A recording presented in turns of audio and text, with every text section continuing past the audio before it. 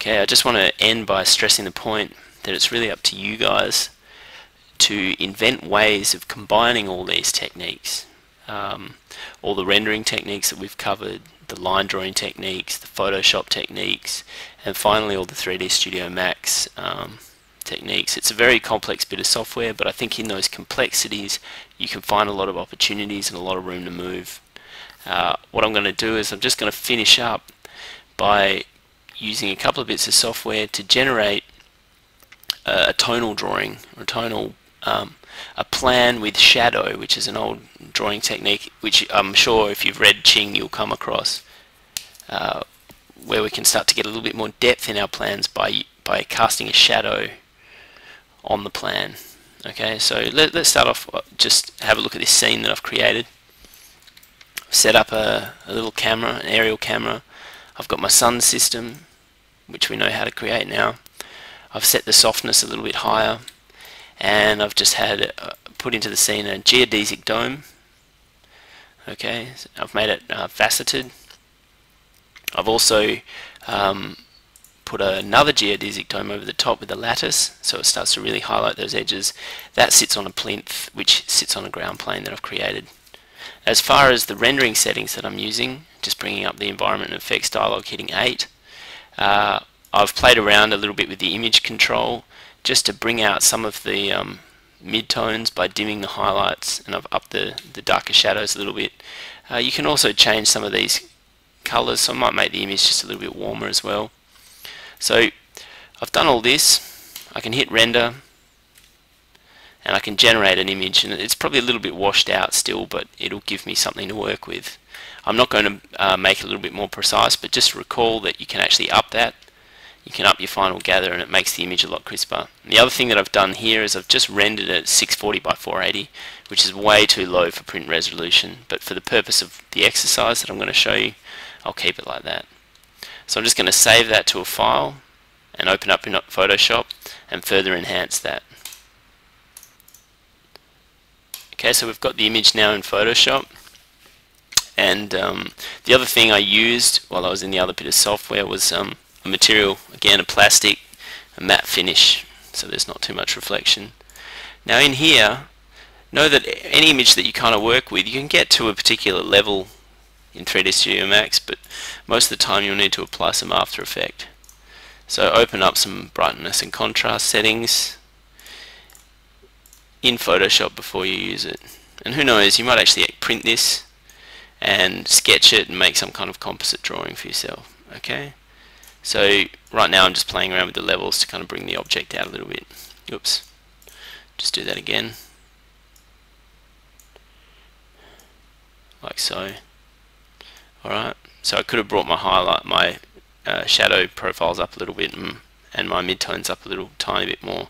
You can see that the image isn't very crisp um, if I had upped my precision in my final gather it would have been a lot crisper. And the resolution of course but it's okay for now. So I'm just going to save that.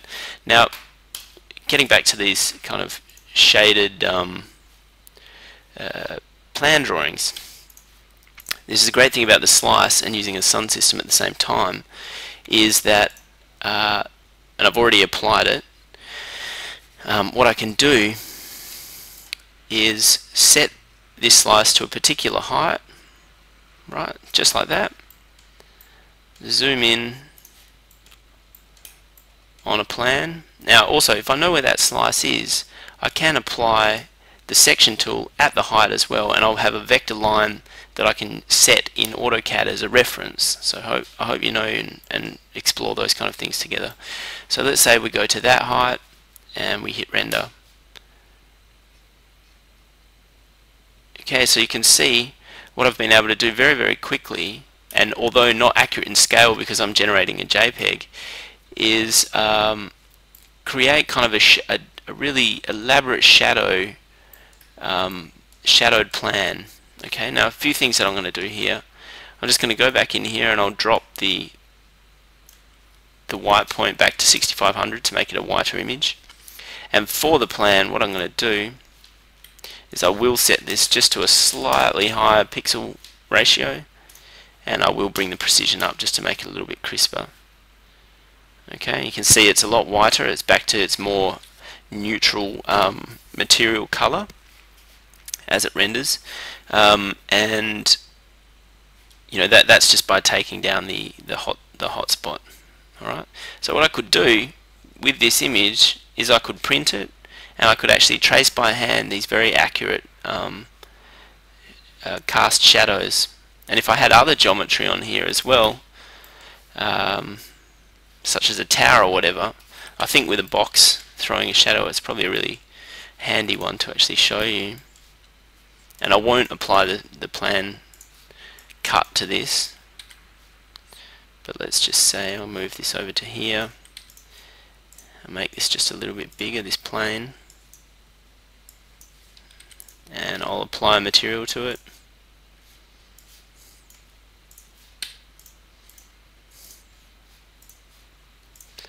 like so. Go back to top view and render it off and I'll come back to you just to show you that. You can see that we've rendered um, the tower which is uh, about 35 meters in height and we've also been able to uh, generate some really nice shadow work that kind of fades and deteriorates the further away it becomes. If it was an actual true plan this thing would be cut at the same height as this, but I've just put it in as a de demonstration. Uh, we can save that as kind of, a, I guess, the plan 02. Save it as a TIFF because I don't want any compression on it at the moment. I can then, I could print this, I could trace it as I say, I could uh, use my hand drawing techniques that are very neat over the top of it if I wanted to. And um, what I can do is also take it into Photoshop and make it really, really high contrast so that we eliminate all the little um, additional line work and generate just a, line, a, a, a really crisp, high contrast shadow drawing. Okay, so that might be a technique that you apply underneath your CAD work, for example. Okay, and if you actually did it at high resolution, you can see if we keep it at color, you can also pick up some really nice uh, spectral colors, you know it's kind of a yellow band that's sitting in there. And then what we can do is we could also crop this image uh, and, and elaborate on our compositional uh, our composition of the plan in such a way. The best thing about Photoshop and this little crop tool is that it gives us a rule of thirds, a little third grid over the top that we could align some of these um, objects to. So let's say right on the very center point of this we can set our um, circle and then on this third here I'm setting this building that will kind of feed into it like that so that might be an interesting thing and then of course we give a little bit more hierarchy to this portion of the page which you may then further design something. But anyway, it's a, it's a start point. I guess the design matter is not important. It's more the technique that I actually want to be able to show you. And of course, if this is a PSD document, I can take that PSD document into InDesign and I'll have a layout that will be ready for me to print on, on the last day. I can then come back in here, uh, re-render it, take it back into Photoshop, rescale it, etc., etc., and the workflow continues. I could uh, reference that file into AutoCAD and then I could um, underlay it in order from order I could sorry excuse me I could generate uh, two-dimensional line drawings over and over from um, AutoCAD that I can put under this PSD document alright so that sums up the lecture series and hopefully there's a few things that you can um, take with you. So um, yeah